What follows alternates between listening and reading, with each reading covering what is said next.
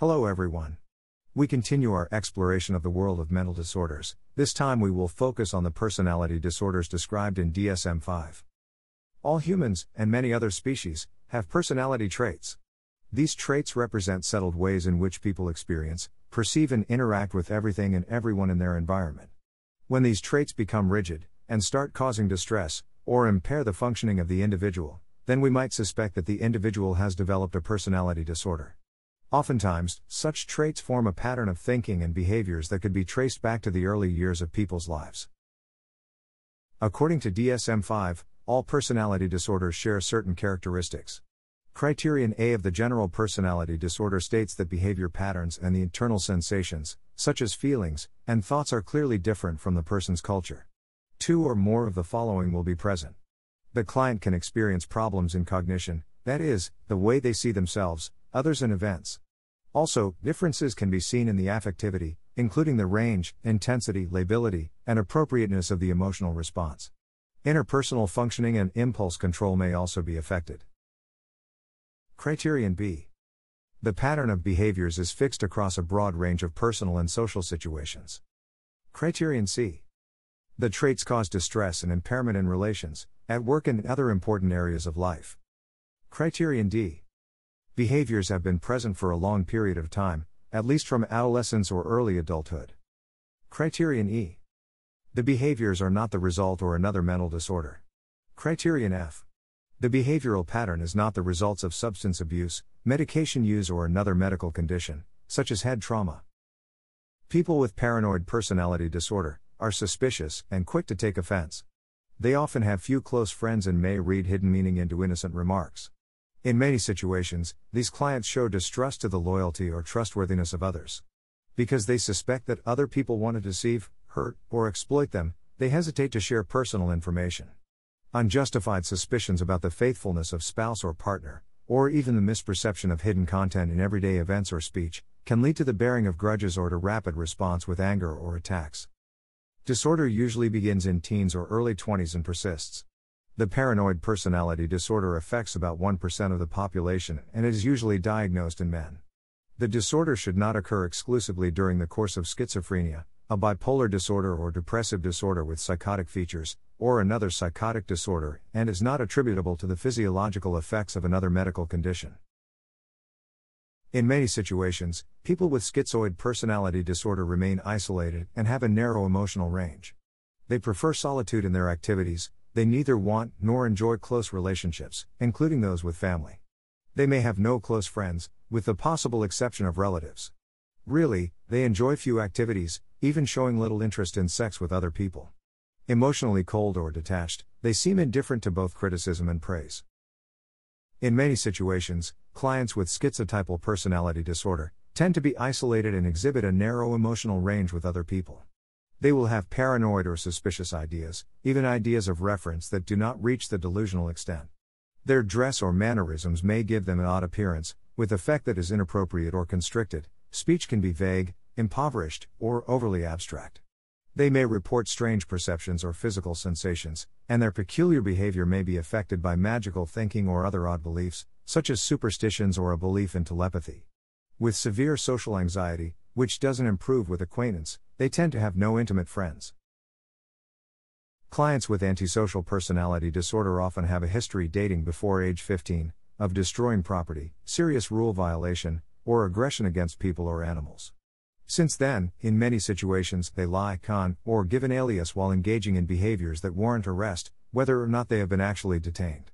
Relying on the impulse, they tend to fight or assault others, and generally fail to plan their activities. For none of this behavior do they show remorse, other than feeling sorry if caught. They will refuse to pay their debts or maintain steady employment. They may irresponsibly place themselves or other people in danger.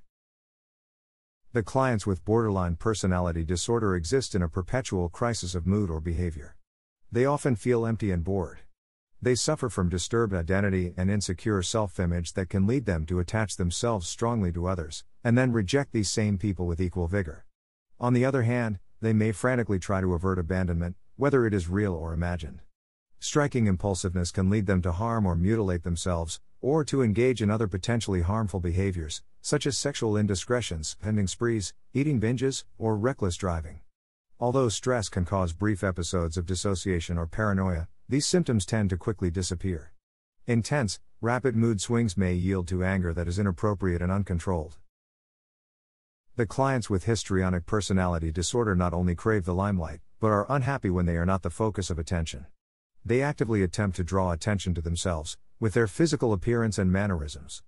Their manner of speaking may be overly dramatic, but what they say tends to be vague, lacking specificity. They can be gushing or effusive when expressing their emotions, which, however, tend to be superficial and fleeting.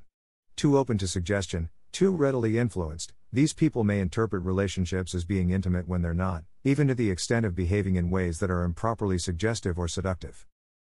People with narcissistic personality disorder possess grandiosity, together with a craving for admiration. To get it, they typically exaggerate their own abilities and accomplishments.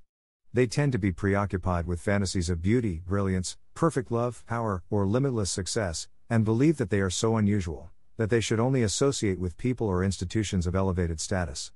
Often arrogant or haughty, they may believe that others envy them, although they are often the ones who envy others. Lack of empathy allows them to use their feelings of privilege and justify the exploitation of others to achieve their own goals. People with avoidant personality disorder are socially inhibited, are overly sensitive to criticism, and feel inadequate. Feeling themselves inferior, unappealing, or clumsy, they are reluctant to form new relationships. Such people so fear ridicule or shame, that they will only become involved with others if they can know in advance they will be accepted. Otherwise, they can be so worried about being rejected, criticized, or embarrassed on the job or in social situations, that they would rather avoid doing new things. Dependent personality disorder. The need for supportive relationships makes these people cling to others, practice submissive behavior out of fears of separation. Fear of disapproval makes it difficult to say no to others. In order to gain support, they will take remarkable steps, such as accepting unpleasant tasks. Low self confidence stops them from initiating and carrying out projects independently. Very often, they will want others to take responsibility for their own major life areas. Many times they will seek lots of advice and reassurance just to make even everyday decisions. Excessive, unrealistic fears of abandonment, and the sense that they cannot care for themselves, will make people with dependent personality disorder feel helpless or uncomfortable when alone.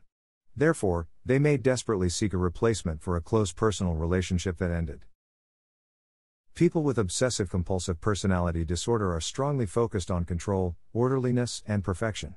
They can become so preoccupied with details, organization, and rules of an activity that they lose the ability to see the purpose of what they are doing.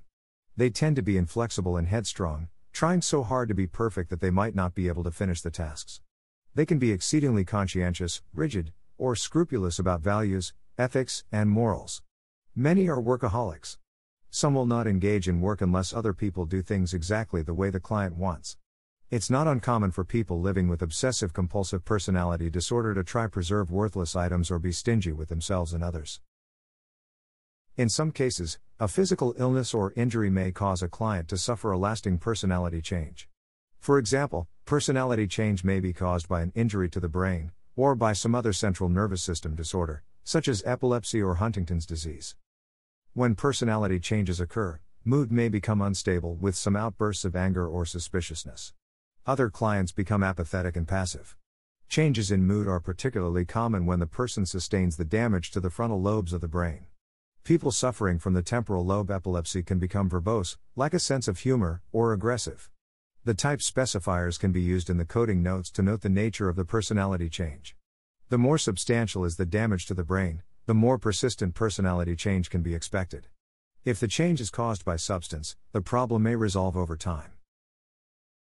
This category applies to cases when personality disorder symptoms cause clinically significant distress or impairment in the person's life, but do not meet the full criteria for any of the disorders in the personality disorders diagnostic class.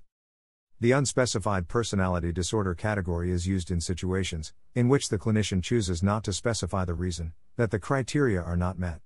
Is it is also used in those cases when there is insufficient information to make a more specific diagnosis.